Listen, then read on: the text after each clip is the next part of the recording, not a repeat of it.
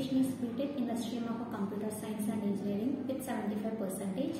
And I'm here in JSpiders, a very good place where technical and non-technical people can learn all the programming and technical skills from the basic.